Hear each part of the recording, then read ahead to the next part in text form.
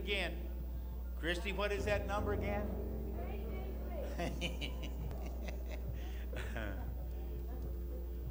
Page 333. My heavenly home is bright and fair. Do you feel like traveling? No, I don't think so.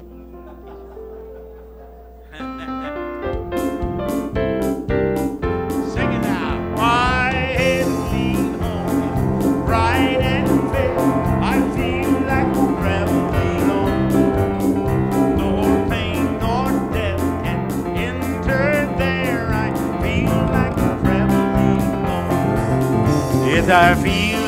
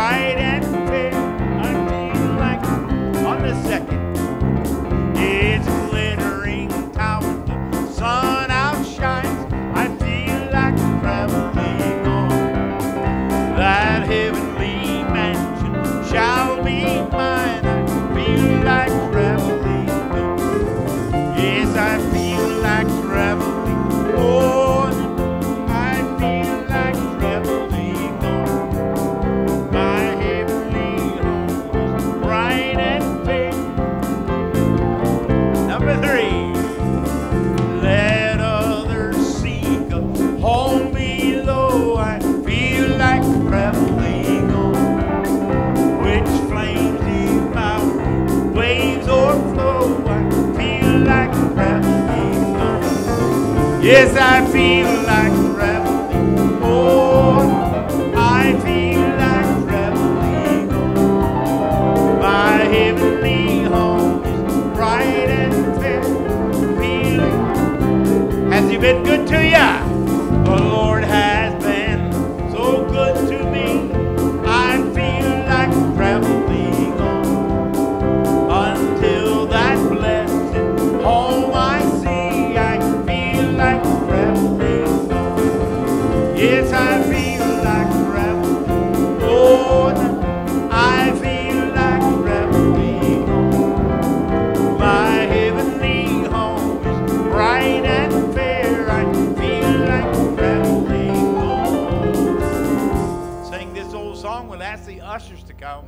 For this evening's tithes and offerings. I'm so glad I'm of the family. I've been washed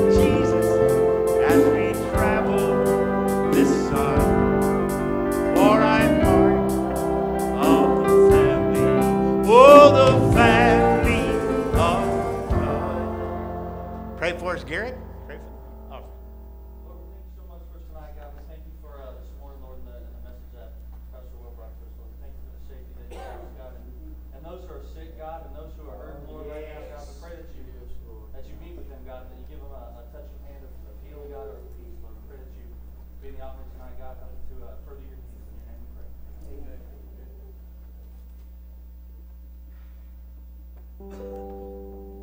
Amen.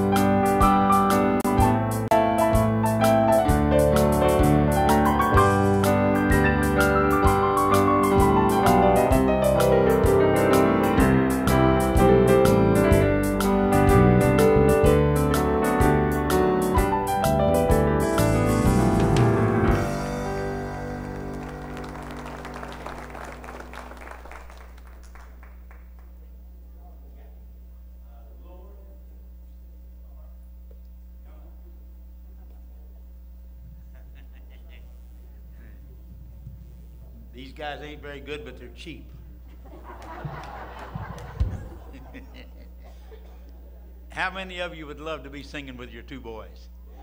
Pretty neat, huh?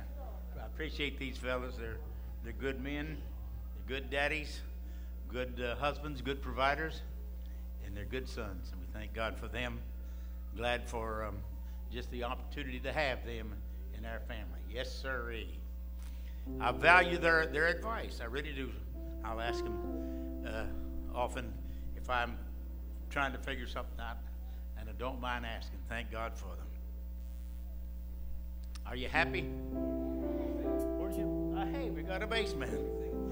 Just one of Hoy's. Let's see if Hoy knows his own song. Our C. Is that E flat, brother? E flat. Who said C? Our Savior was traveling one day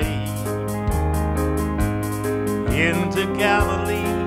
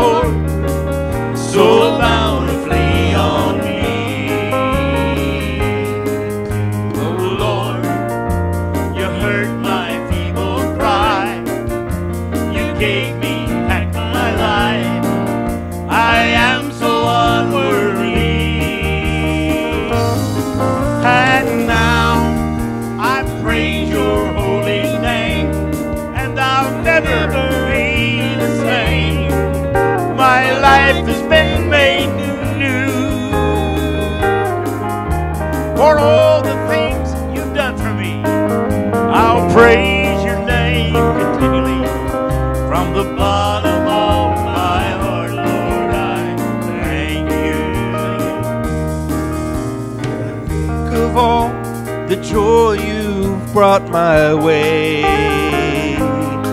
and how your mercies to me are new each and every day. How you saved my soul and kept your promises to me. How you blessed me with health and strength and a Christian family. Just like that leper child worshipped at your feet. Lord, there's something else that I should say to thee. Oh, I said, Lord, I just want to thank you for all the blessings you have poured so bountifully on me.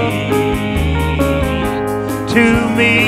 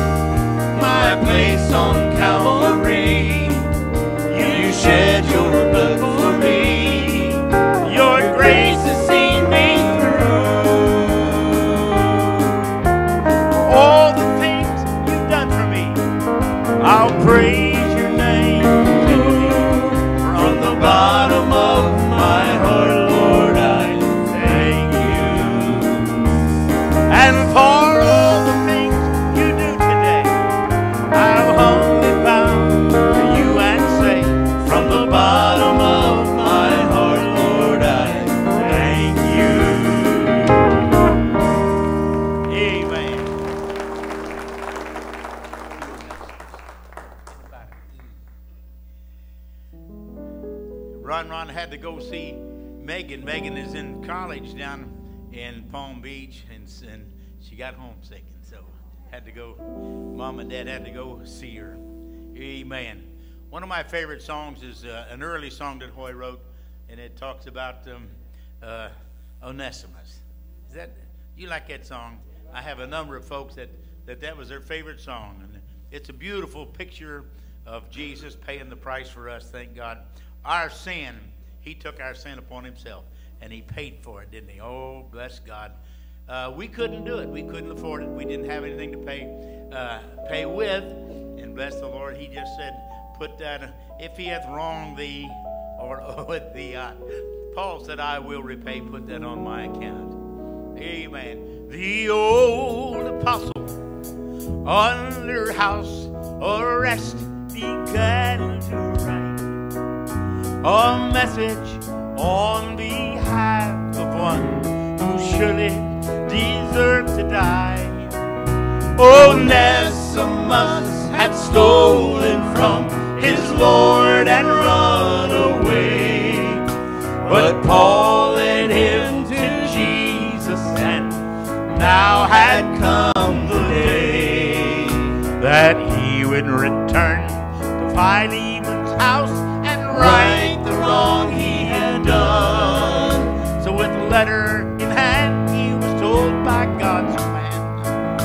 It's time to go now, my son. With trembling fear, the journey of Onesimus began. He knew the fate that he deserved for the wrong he had done to this man. At last he arrived and stood before the one whose mercy he pled. He fell to offered the letter, hoping that it would be read. Philemon took the letter and the writing he recognized. When opened up, this was the message found lovingly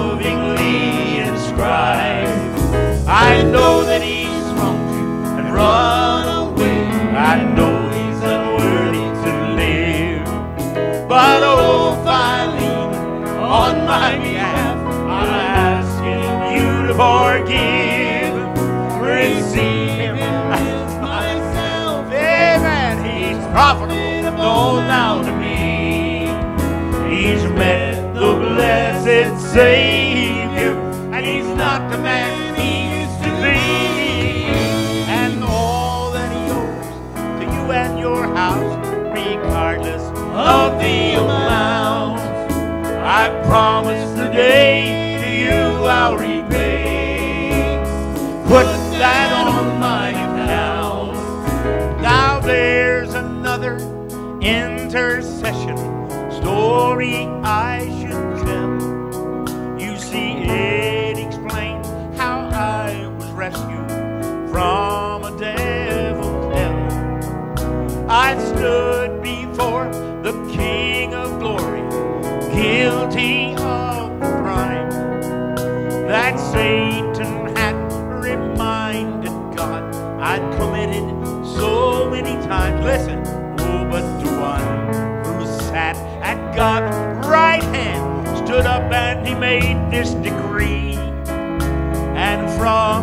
lips, the sweetest request was made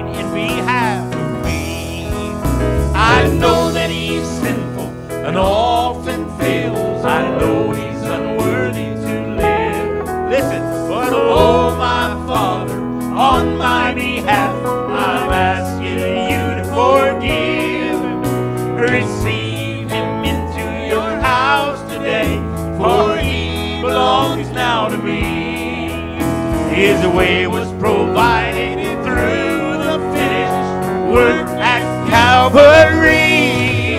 His debt was all paid on one wonderful day when he knelt neath the blood flowing fount. So take all the wrong that he has done. Put that thing one more time. I know that he's sinful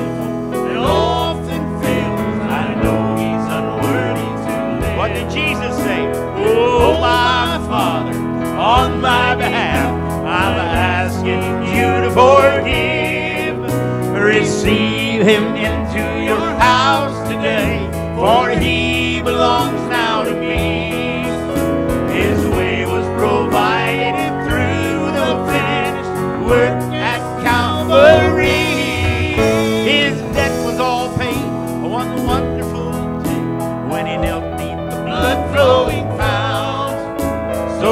all the wrong that he has done, put that on my account.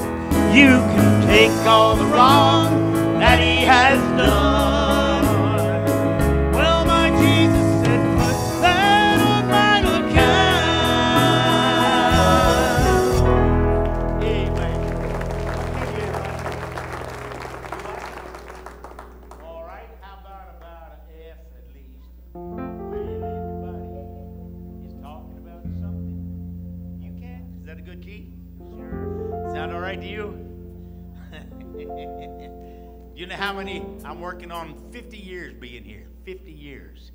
You imagine how good I looked 50 years ago. Can you just. And I tell you, it's been a good 50, good 49 anyhow so far. We're, Jeffrey was just a baby when we came here, and um, he was six weeks old. So anyhow, it's been a good run, I can tell you that.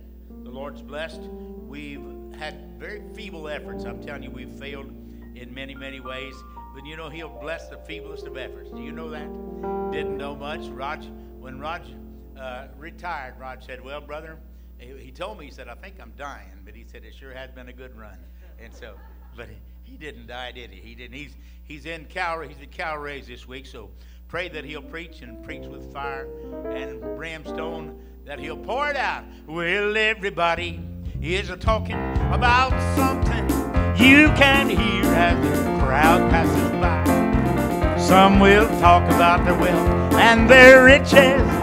Others talk about their trouble and strife. I don't know how to talk to a rich man when compared I'm a beggar, no doubt. But if you're talking about that old time religion, then I know what you're talking about. If you're talking about old time religion, then I know what you're talking about. About the kind that would make you love your neighbor when old Satan will say, turn around. About the kind that will comfort you in sorrow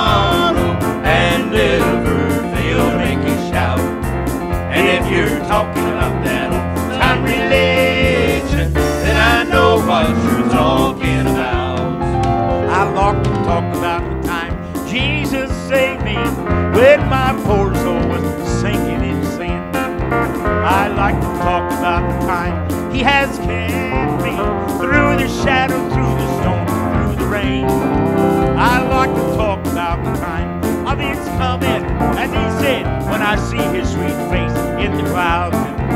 If you're talking about that old time religion, then I know what you're talking about. If you're talking about that old time religion, then I know what you're talking about. About the kind that will make you love your neighbor when old Satan will say, turn him out.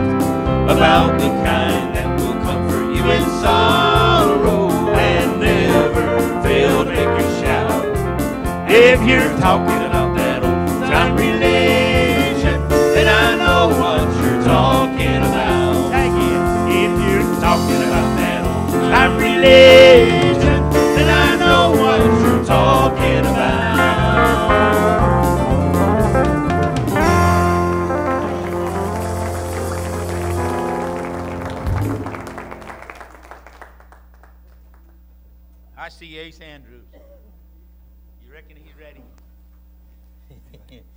you know that from the time he was a, a baby, he, he really liked me, and, and I was. He always tells this story.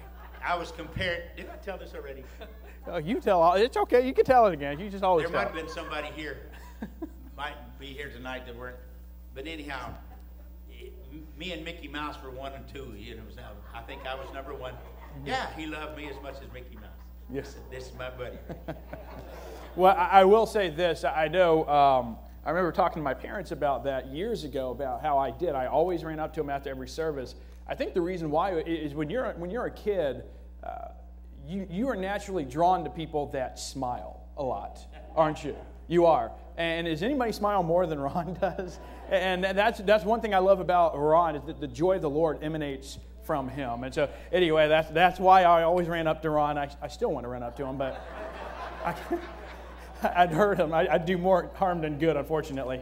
Uh, if you have your Bibles, turn with me to Jonah chapter 4, the book of Jonah chapter 4. But uh, before I um, go into that, there's something I want to say that actually isn't really relevant for, with what I want to talk about tonight, but it's something I feel is really important. If you'll permit me, I want to take my phone out so I can uh, read something um, that I, I found uh, earlier this week. Uh, some of you may know uh, earlier this week, a man that was considered a cultural icon by many uh, passed away. Uh, some of you may know who I'm talking about Hugh Hefner, the founder, the creator of Playboy magazine. Back in 1992, he had an interview with the New York Times, and they asked him, uh, he would have been in his 60s by then, he died at the age of 91. Um, they asked him, they said, What are you most proud of in your life? And this is what he said He said, That I changed attitudes towards sex. He said this I'm proud that I decontaminated the notion of premarital sex. That gives me great satisfaction. In fact, he wanted to be known as one of the ones responsible for the sexual revolution back in the 1960s. And ever since Hugh Hefner had passed away earlier this week, celebrities and different people have paid tribute to him as if he was a, a great man. They, they, they, quoted quotes that, that he had said in the past. But let me go ahead and, and, and tell you a little bit about uh, maybe part of his legacy that he left. Another article posted by CNN earlier this week says this that the CDC, the Center for Disease and Control, came out and said that there are that the, S, the sexually transmitted disease cases have hit an all-time high in America in 2016. Over 2 million new cases, and that does not include some of the other, and we're talking about just chlamydia, gonorrhea, syphilis, and HIV because they have to track those. there's a, tons of other sexual transmitted diseases that they can't keep track of, and the CDC has said there's 20 million overall cases of sexually transmitted diseases in this country in the past year. In fact, according to uh, one, one, uh, one of the, um, uh, the, the directors said this uh, uh, David Harvey, the executive director of the National Coalition of STD Directors, said STDs are out of control with enormous health implications for Americans. Ladies and gentlemen, that is the legacy of Hugh Hefner. He is not a good, he was a sick, perverted, nasty old man. I, am not, I really, it makes me mad when people praise this man for perversion. That's what he pr- promoted. And so, and this is something else I want to say too, is that any of the young people that are here tonight, please do not listen to people like Hugh Hefner. Pre- sex before marriage is wrong. It is. However, we also, as adults, the older people, we also have to start thinking this. We can no longer today with our young people start saying, hey, premarital sex is wrong, just don't do it. We need to start explaining to them why it is beneficial for them to save themselves for marriage. We have to tell them that. We can no longer say, here are the rules, follow them. You need to start explaining to them why it is beneficial for them to save themselves for marriage. And before I go any further, I'll like won't even get to my actual sermon that I'm preaching tonight. I just wanted that. I felt like God laid that on my heart because of who Hugh Hefner is. He was not a good man. He, was, he, he promoted perversion, and I, I figured I would just share that before I uh, went on tonight. So sorry if hopefully you are okay with me doing that for a couple of minutes. But um, if you, if, again, if you found Jonah chapter 4, please stand with me in the reverence of reading God's word. Um, I want to bring you something a little bit different about a very familiar story of Jonah. Uh, we'll be reading the first three verses of Jonah chapter 4. It says this But it displeased Jonah exceedingly, and he was very angry. And he prayed unto the Lord and said, I pray thee, O Lord, was not this my saying when I was yet in my country? Therefore I fled before into Tarshish, For I knew that thou art a gracious God and merciful, slow to anger, and of great kindness, and repentest thee of the evil. Therefore, now, O Lord, take, I beseech thee, my life from me. For it is better for me to die than to live. Before I go any further tonight, let's pray. Dear Lord, thank you so much for this day. Thank you uh, uh, that we always have the opportunity to be able to come together to worship you, God, in this house. God, help us to never take that for granted. Just be with me, be with my lips and my tongue that I communicate exactly what you want me to communicate tonight, Lord, that we feel your spirit, that you walk up and down these aisles. We love you, Lord. We thank you for all that you've done for us. In Jesus' name, amen. Thank you. You can be seated. Uh, so we approach the part of the story of Jonah here, um, and he's a very unhappy man, as we can see. Uh, but the question is, is, how did he get to that point? Well, why is he so unhappy? Well, in order to answer that question, we have to look to the story kind of preceding Jonah chapter 4. And so, even though this is a very familiar story that you've heard numerous times, I think it's worth revisiting tonight to, to set up what I want to talk about. Uh, we know that in the first chapter of, of Jonah, we see that God calls on Jonah to go to the city of Nineveh to preach to them. And of course, we know that Jonah doesn't respond well to that.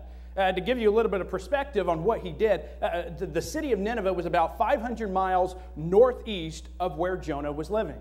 Instead of traveling 500 miles northeast, he decides to go a little bit west to the city of Joppa, hop on a, a, a ship, and go to Tarshish, which is located in southeast Spain.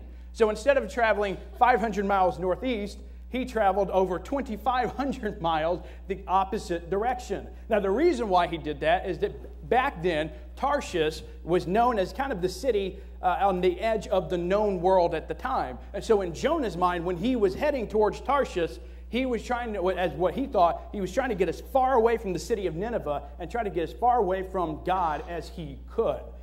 And of course, we know that during this boat ride to Tarshish, God whips up a big storm and it scares the captain and the sailors of that ship. And of course, they go and they wake up Jonah, who was sleeping during the storm, and told him what was going on. And Jonah said, Well, I'm running away from God. More than likely, the, the storm is because of me. And so they actually cast lots and they determined, okay, Jonah, you're right. So, so what do we do? Well, they actually, Jonah's the one that suggested, throw me overboard. And they did. And now, after they did that, the sailors and the captains actually offered a sacrifice to God for, for two reasons. First, they thought maybe that would appease God and maybe the, the, the storm would calm, but they also did it making sure that innocent blood wouldn't be on their hands because, in their mind, they had just killed Jonah, throwing him overboard in the middle of a storm. Of course, we know that that's not what happened to Jonah. We get to the most famous part of the story. A big fish comes and swallows up Jonah. Uh, now, uh, the, the Bible in Jonah mentioned uh, the fish as a big fish. Jesus actually calls it a whale in the New Testament. But regardless of whatever this sea creature is, it's big enough to swallow a whole man. Now, some people like to, uh, some doubters would like to say that maybe this is tr- obviously not a true story. How can there be a fish that could swallow a whole man? But today, scientists will confirm that sperm whales can swallow whole squids, bigger than man. They can actually swallow a whole man. And meanwhile, there's a, species of shark known as the Greenland shark, and they have been known to swallow polar bears and reindeers in whole. And others have reported that there was a tiger shark somewhere here in America that was found having a whole chicken coop inside of its stomach, and inside the chicken coop was chicken or remains of chickens. So I, that, that tiger shark must have been very hungry. Uh, but the point being is this, as Dr. Tony Evans said in one of his sermons about Jonah, is that uh, the fact that Jonah was swallowed by a, a whale or a big fish, that's not the real miracle of this story. The real miracle of this story is what's going to happen to, in the city of Nineveh in chapter 3. Uh, but we get to chapter 2 where we find Jonah in the belly of the fish and, and he's praying to God, and it's a beautiful prayer of praise and thanksgiving to God. And of course, after uh, three days and three nights, the big fish vomits Jonah back onto land. I can only imagine if somebody was there fishing to see all of a sudden a man jumping out of the water and, and getting on land. That must have been quite a sight to see. But then we get to the beginning of chapter 3, and again, God calls on Jonah to go to the city of Nineveh. And after what Jonah had just went through, he decided, you know what, it's a good idea to probably follow what God is wanting me to do this time. And so he goes to the city of Nineveh. And by the way, according to Bible scholars, uh, Nineveh was a huge city. In fact, for about a 50 year period of, of history back then, Nineveh was the largest city of the known world. And so he went around to the Ninevites preaching that they had 40 days to repent of their wicked ways or God would destroy them. And that's when the real miracle, the greatness happens. Maybe the greatest revival ever recorded in the Bible. It says this in Jonah chapter 3, verse 5. So the people of Nineveh believed God and proclaimed a fast and put on sackcloth from the greatest of them even to the least of them. In other words, basically everybody repented. And on top of that, the king of Nineveh came out with a proclamation demanding that the entire city repent. And so, again, some people may doubt this part of the story and say, How in the world could the entire city listen to Jonah? Now, well, there's two quick theories that they have of that, that Bible scholars have of maybe why they listened to Jonah, and they usually tie back to the idea that Jonah was swallowed by a big fish. Uh, one theory is that maybe in three days and three nights in, in a belly of a fish, uh, with all the nasty gastric juices that would have probably been flowing through him or whatever, uh, that it might have changed his physical appearance. And that when he came back out, he looked so strange, so odd, that people couldn't help but listen to him. Uh, of course, the other theory is that, uh, uh, um, that the word traveled fast, that there were some people that witnessed a man being spit out by a fish, and word traveled all the way to the city of Nineveh, which, by the way, Nineveh uh, in the original language is translated to the place of the fish. They were known for worshiping different types of, of sea gods, including Dagon, who was a type of fish god. And so when they realized, here comes the man that was spit out of a fish, in a city where they revered sea creatures, more than likely they were willing to listen to him. But regardless, God used Jonah in a mighty way here. Uh, so here we are at a great point of this story where uh, somewhere between 120 to over 600,000 people repented of their sins. They delayed judgment for over 120 years. It was a great revival. In fact, Warren Wiersbe said this if the, this book, the book of Jonah, if this book had ended at the last verse of chapter 3, history would have portrayed Jonah as the greatest of the prophets. Unfortunately, the book doesn't end at chapter 3, it goes to chapter 4. And chapter 4 reveals Jonah's true heart. Again, we see Jonah was displeased exceedingly and was very angry. Why would he react that way? Well, it's actually the same reason why he tried to escape from God's calling to begin with back in chapter 1. See, Jonah didn't want to give the Ninevites a chance to repent.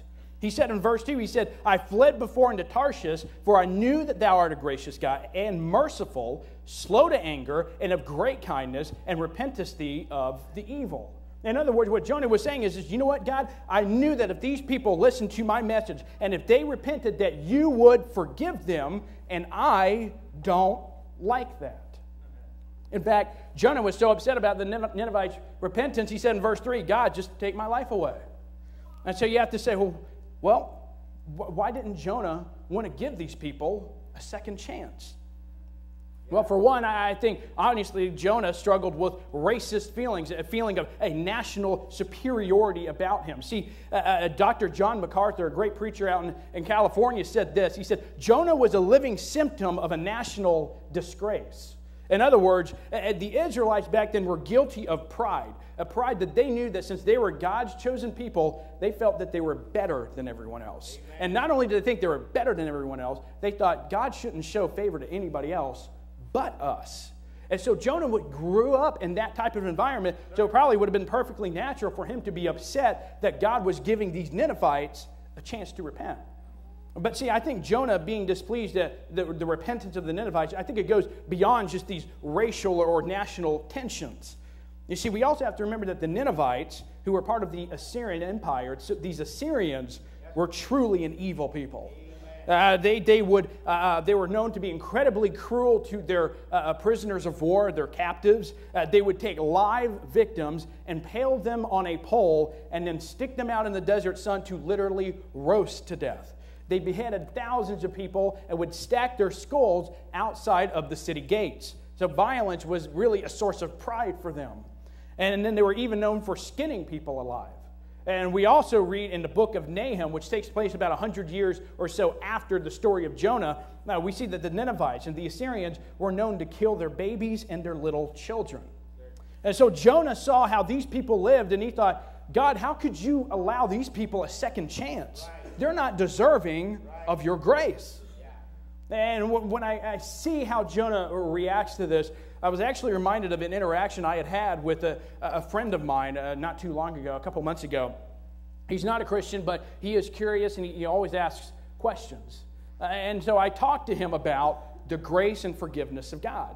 And I threw out an example. I said, in fact, God's grace and forgiveness is so great. It's a classic example. Even Pastor Will brought it up a couple months ago that even Adolf Hitler, as much as he did, if in the final moments of his life decided that he repented of all of that and he asked Jesus to save him, he would be in heaven today.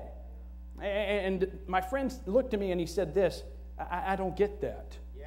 And then he said this. He said, You know what, Ace, if I were God, and I was sitting on the throne, and I saw Hitler come to me, and I saw that he had accepted Jesus Christ as my Savior, I would still stop him and say, You know what? No, I don't care if you accepted Jesus Christ as your Savior. No, no, no, no. This is where I draw the line. I'm not letting you in. Right. And I kind of feel like that's what Jonah was saying to God. Yeah. He was saying, God, no, don't you see the evil that these people have done? Yeah. This is where you should draw the line. You shouldn't allow them a chance to repent.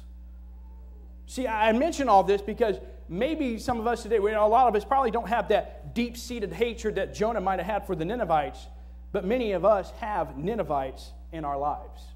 Uh, we have people or groups of people that, if we're not careful, we assume are beyond the grace of God. Or, or, or maybe, if you're honest, you think to yourself, maybe you don't feel quite so bad that they're on their way to hell. And I know some of you may be thinking, Ace, no, that's not the case. I don't feel that way. But, but think about it. Think about those who have spread evil, those who have spread hurt, those who have spread hatred over the years across this earth. And the first people I thought of were the ISIS terrorists. Remember how they beheaded Christians and they televised it? Let's just say that uh, uh, after, after doing all sorts of evil, all the bad things that they have done to, to Christians and to others, that they saw the errors of their ways at the end of their lives and they asked for forgiveness and they put their trust in Jesus and they go to heaven. Be honest, how does that make you feel? Uh, the thing about this is, uh, uh, do you realize maybe Osama bin Laden, what happens if in the last moments of his life he became a Christian, he's now in heaven? Or Adolf Hitler, Fidel Castro, or many others who were violent, evil people. Uh, what about those that live in open sexual sin, or those that, and they're not ashamed of it, or those that are atheists who openly mock our beliefs and think they're better than us because they don't believe in a God, or, or, or maybe on a more personal note, what about maybe that person who deeply hurt you? Uh, what about that person who took advantage of you or took advantage of a loved one or a friend of yours? How does it make you feel that all of those people can still go to heaven if they repent? See, uh, today I think it's expected of us to hold grudges. I think it's accepted by the world standards to not always forgive and to just assume that some people are beyond God's grace. I was, uh, I'll, I'll, admit, every once in a while I like to watch a Dateline on NBC where they tell real life mysteries, real life cases. And I, I saw one uh, where a woman unfortunately was murdered in Texas, and the first person they decided to share the, the bad news, the police, the first piece, the person they shared the bad news with was this, this woman's son. And they thought the son acted a little strange, but they really didn't think anything of it. But then they made him their number one suspect for one reason they caught him telling other family and friends, he said, Whoever killed my mother should be forgiven. As soon as he said those words, the detective said, We need to look for this guy. There's obviously something wrong with him. He became their number one suspect. Now, eventually they ruled him out. He, he had an alibi. But the point being was that the detectives were basically saying, as the, what the world would say is, How can you forgive someone who did that to your mother? Yeah. You, you can't do that. There must be something wrong with you. And see, I think Jonah had faced that same type of thinking. See, by, by going to the city of Nineveh and offering them a chance to repent would have been considered treasonous in the Israelites' eyes. It would be, and today it's contrary to the world's thinking to be happy that everyone can have a chance at redemption yeah. through Jesus Christ, no matter what they've done. No one, the fact of the matter is, no one is beyond God's forgiveness, though. Psalm 86, verse 5 confirms it by saying this For thou, Lord, art good and ready to forgive, and plenteous in mercy unto all them that call upon thee. See, God is ready to extend mercy and forgiveness, as Psalm 86 5 says, to all those who to all those who want it, no exceptions. And I think the Apostle Paul is a great example of how no one is beyond a chance to repent. Uh, we have to remember that at one point in his life, he hated Christians. I mean, he had a source of pride being basically a bounty hunter, hunting Christians. But then we know that he became one of the greatest missionaries of all time. Uh, but even Jonah himself, he probably should have learned the lesson of how no one is beyond God's forgiveness and grace. Think about it. Jonah disobeyed God's calling. Not only did he disobey, he just completely went the other direction. I mean, he even wanted to take his life. He didn't want, he, he so badly wanted to get away from God's calling, he wanted his life to be taken away from him. And he was racist. He had a bad attitude. Uh, Dr. MacArthur uh, said that he said, if I were God, he said, I would have put Jonah right on top of the used prophets heap and said, okay, you're done. But see, God didn't do that. He gave Jonah a second chance, a chance to repent. And see, that's exactly what God wanted to do for the Ninevites. But see, Jonah, he didn't see that similarity. He didn't see that similarity between himself and the Ninevites. And I think he didn't see it because he didn't have the proper perspective to see it. And so, to be, uh, to be practical today, how do we as Christians resolve our feelings towards the Ninevites that are in our lives? Uh, where do we start in getting that proper perspective? Uh, well, to start off, we must remember that no matter what, God is the ultimate judge of all of us.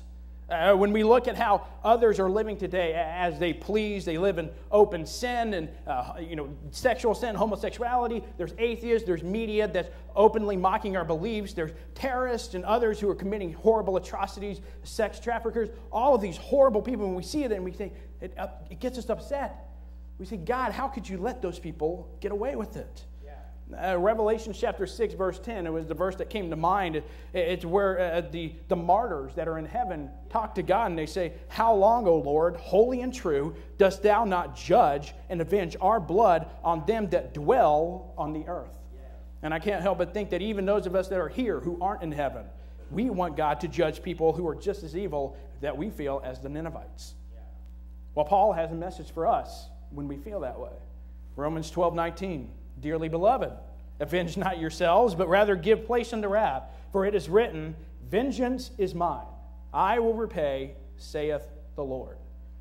Uh, now, if it isn't our job then to judge people here that aren't living like they should, then what is our job? Actually, Paul tells us in the next verse, in Romans chapter 12, verse 20, he says, Therefore, if thine enemy hunger, feed him. If he thirst, give him drink. He goes on to say in verse 21 Be not overcome of evil, but be overcome evil with good. Yeah. In other words, don't sink to the level of the Ninevites in your life, because that's not going to do any good. Instead, treat them the opposite way, the way Christ would. Pray for them, be kind to them, help them. Uh, but again, how can we even bring ourselves to do that if our attitudes toward these people can, can, is just such dislike or maybe even hatred because of the evil that they've committed? Well, for one, I think we must learn to start looking at everything through the eyes of grace. Uh, Kyle Idleman is a teaching pastor at the Southeast Christian Church in Louisville, Kentucky. It's one of the top five or seven largest congregations in the entire country. And he recently wrote a book called Grace is Greater.